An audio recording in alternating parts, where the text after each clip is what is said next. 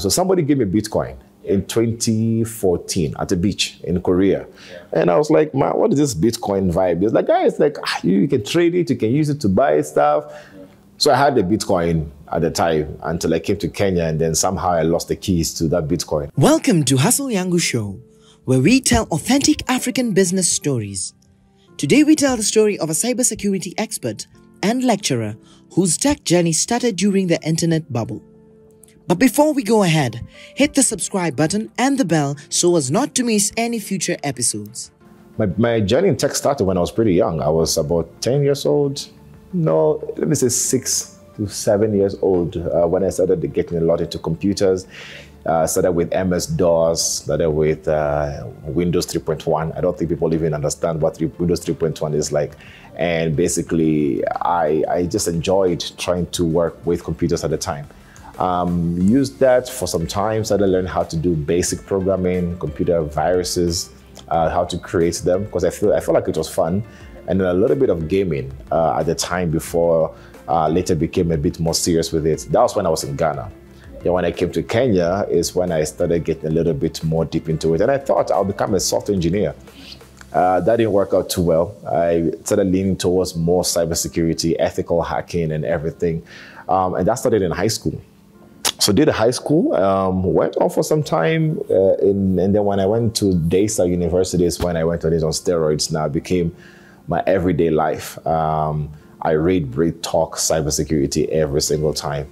Um, later became did my master's, PhD in South Korea, all in cybersecurity, and did a lot of work, consultancy work for companies like Ushahidi. I started working for Cellulant at the time, and it, that went on for so long. Later went to work for Internet Solutions, which is now Dimension Data or NTT as they changed the name. Um, and then later I went to work for a company called Zetova. I was a CTO, uh, building machine learning algorithms, uh, leading a team to build insight within using data science and do a lot of ML and AI work.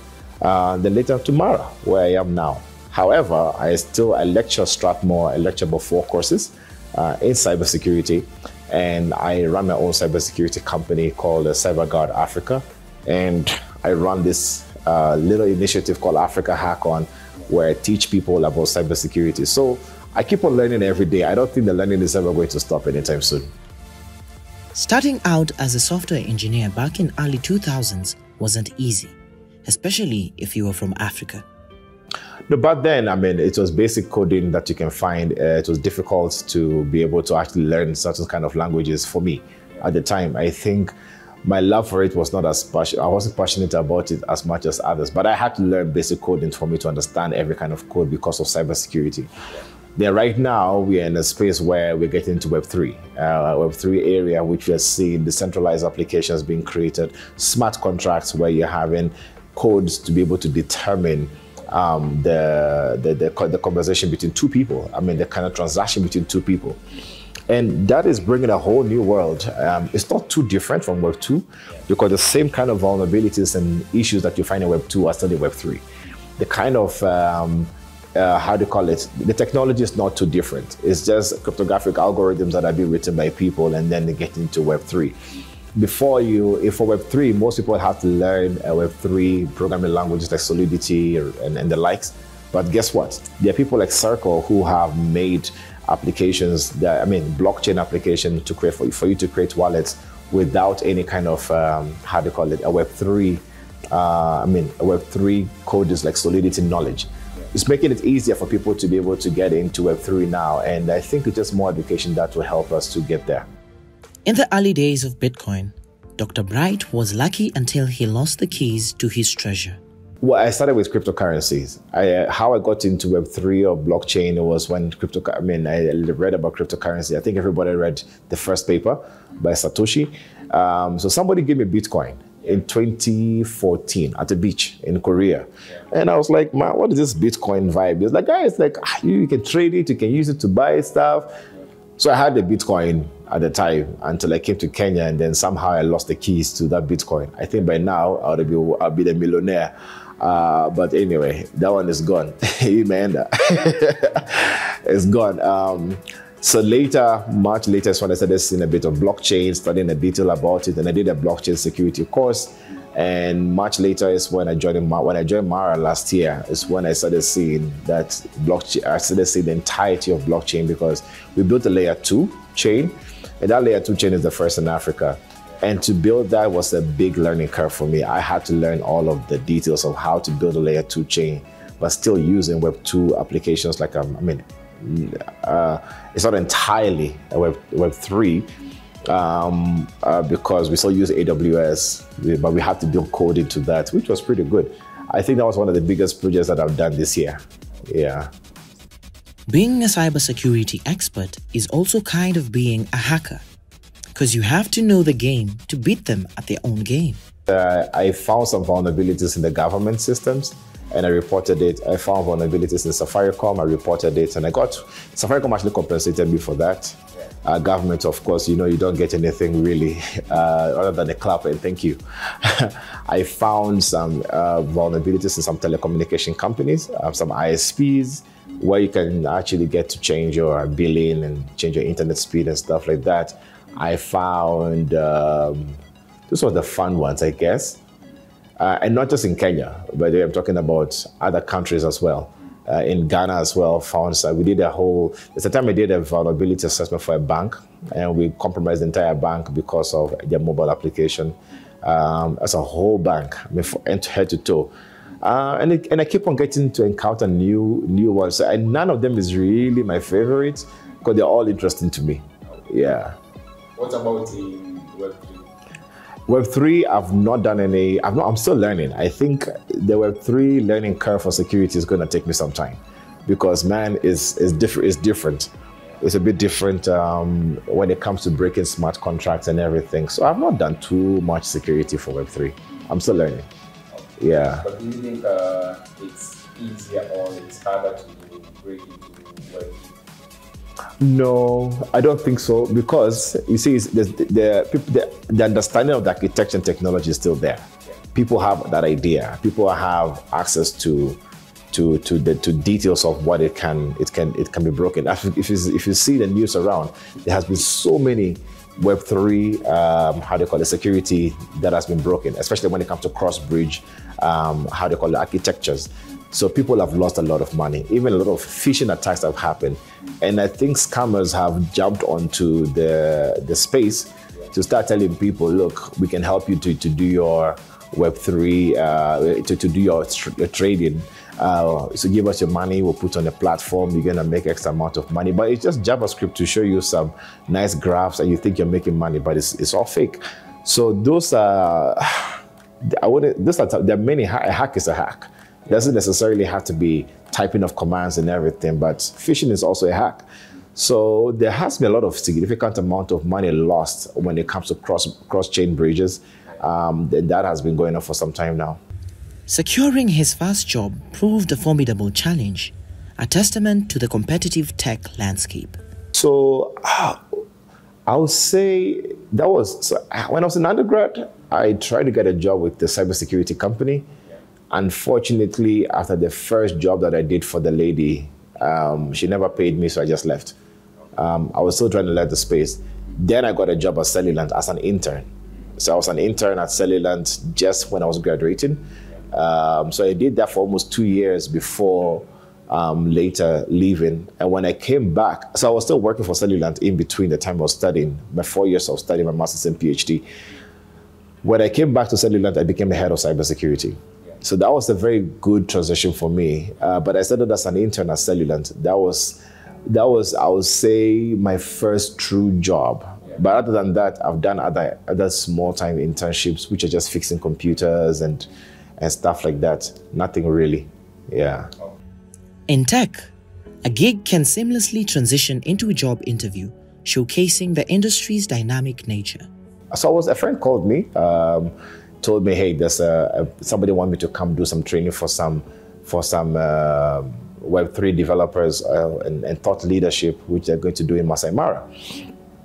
And it was called Hack the Mara. So I was going there to speak to students about building a team, um, how to build a team, how to do cybersecurity for your applications that you're building, how the team should be formed and everything. So I went to Masai Mara. Basically, I went there just to talk, and I talked, talked, talked, talked for like almost two hours straight with people. And after I finished, at that time, actually, I was being interviewed for a job in Dubai, which I did the, the interview there. Um, finished the interview. I actually passed. So that was on a Saturday. I think it was a Saturday, yep. And Friday was, I think it was a Friday. Did the interview then on my, uh, when I was finishing, Mara's like, "Hey, you, I think you can join us because your skill set will be really helpful to our team." So I did a few more interviews with Mara, almost four of them. After that, um, so I did one. I did one on Monday, and at the time on Monday I was doing that interview, I was almost being confirmed. The other one in Dubai also confirmed. So I had to now choose between the two. Uh, but I decided to stay in Kenya because of uh, the other job was going to be basically, you know, managing the team and everything for cybersecurity. But it wasn't too exciting for me, if you ask me. But now Mara was a little bit, you know, different for me when it comes to to blockchain. Juggling roles, Dr. Bright serves as both a Mara cybersecurity expert and a lecturer at the Strathmore University. Uh, what do you call an adjunct lecturer? So I just teach a few courses here and there um, and trying to teach students about cybersecurity in different courses. I do penetration testing uh, classes, I do IT security projects, advanced systems audit, and uh, emerging technologies in uh, IT and cybersecurity. Teaching all of those, you are engaging people in different thought leadership and mindset, right? Uh, I do a lot of speaking events. I've done 310 so far. And those 310, I'm basically trying to understand every time I go to, to speak, I thought I'm giving, but I also end up learning. Not just from me speaking or the audience questions, but also what other people are presenting. So I like that challenge. Um, is is it, it, keeps my mind going, and you know, it's a, it's a, we're in a space where you have to constantly learn something new and something different. Dr. Bright, immersed in Kenya's Web3 community, distills his thoughts after numerous interactions. The Web3 community in Kenya is big, but it's big, it's vibrant. I can see a lot of people are actually very um, enthusiastic about it. However, there's no collaboration right? Every event wants to shine on its own to make a little bit of money with somebody who's trying to come in. But we need to actually have a lot of, we need to start having a lot of collaborations to be able to make sure the community grows. That right now people are doing things in silos, so you're seeing they're trying to favor one kind of an entity, which is not going to work. I mean, we have to start embracing the, the base technology, which is blockchain, right? If we give basics to people, be able to understand, then guys can divert anyhow you want. You don't have to use a particular kind of a protocol to be able to be successful. But right now, we are doing things in silos, and we need to make sure we come together. Secondly, we need to make sure that any kind of things that we're trying to build, we are building to be able to actually solve a real life problem in Africa. Otherwise, we'll keep on having more and more events, more and more workshops, webinars, Twitter spaces, but nothing is coming out of it. And we need to actually make that change. After overcoming learning hurdles, Dr. Bright founded a community for software engineers, fostering collaboration. So Africa Hackon started about 10 years ago, uh, actually 10 years ago right now. We, I saw the need for people. It was difficult for me to learn cybersecurity without having a community or people that I can study with. So we started with a small team and it's kept on growing. And now thousands of people have been able to actually learn a lot through Africa Hackon. So we do, um, we used to do a monthly events, but it became a bit expensive for me. Um, so now we're looking for some funding, which hopefully will come very soon. Then we're trying to see how to get also um, from, uh, how do you call it, the perspective of, um, uh, do, we do master classes. Uh, so we got sponsorship for a few master classes that we did, and it's becoming a good thing right now.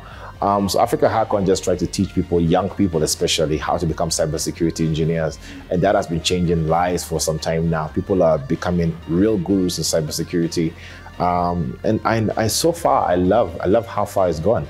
Um, so looking forward to the next species of people. And every time we do this event, you see that there's a new breed of, of engineers who are coming and with their new thought processes, the way they actually get to, to, to present themselves and everything.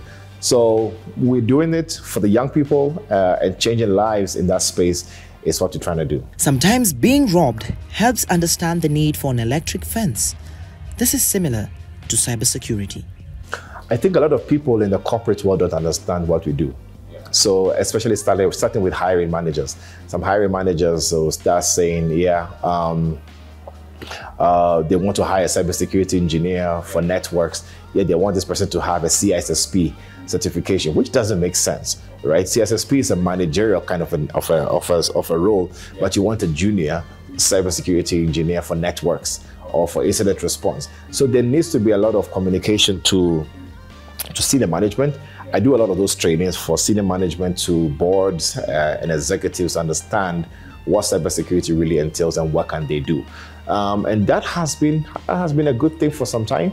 Um, so the more we get to do that, the better. Um, but those are the challenges. I feel like a lot of people are not really understanding why they need cybersecurity. They think it's about tools. Tools are there to do uh, one, two, three, four activities, but you need to be able to have um, how do you call it more uh, practical demonstration. Let them see scenario, use cases and scenarios where they can build, be built into into their project. Yeah.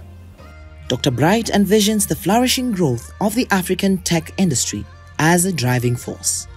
We want the next best talent to come from Africa. We are, we're already seeing it. People are, there are so many Kenyans and Africans, and Ghanaians, South Africans who are represented out there to be cybersecurity gurus and software engineers. Look at Kenya right now. Kenya has about 500 developers for Microsoft alone. AWS is stationed here. All the HQs are coming to set up here because they can see the future of where software development or software engineering is going. Uh, we've seen successful businesses being built.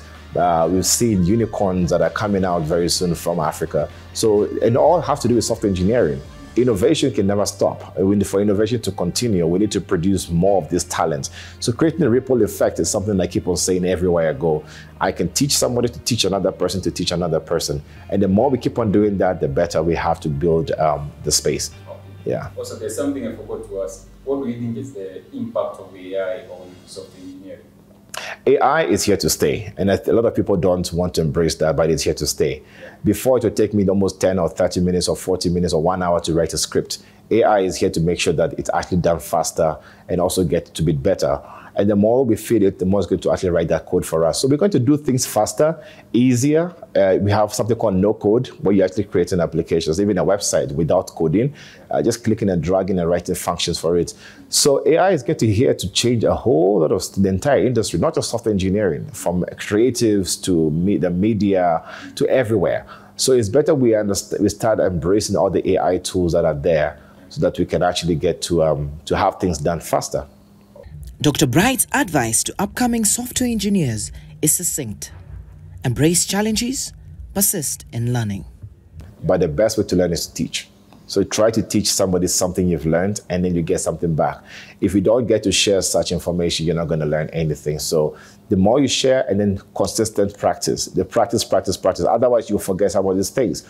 You see people in who are uh, very senior people in organizations right now uh, as head of, say, software engineering or head of cybersecurity, but they've not touched anything almost five years now. Lecturers, needs to also change. Some lecturers have not learned anything new for the past four years. They're using the same slides over and over again, and there's nothing new they've read or be able to bring to the table. So young people have to keep on practicing, keep on sharing, keep on learning. That's what I can say.